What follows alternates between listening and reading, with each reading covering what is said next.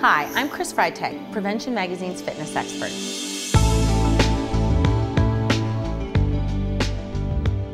Here at Prevention, we often get asked the question, is there a difference between intervals and circuits? And the answer is yes. There are two different types of training, both great time-saving tips.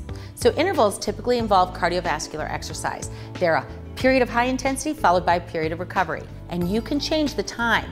So more intensity, less recovery, or less intensity, more recovery. It depends on your fitness level. But the more intensity you have, of course, the more calories you're gonna burn in a shorter period of time.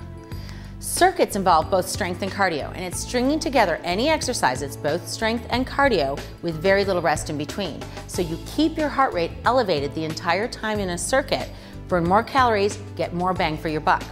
So both of them are great time-saving tips. Both are great ways to challenge the heart, get more fat burned in a shorter period of time. So which are you, an interval or a circuit lover? Give them a try.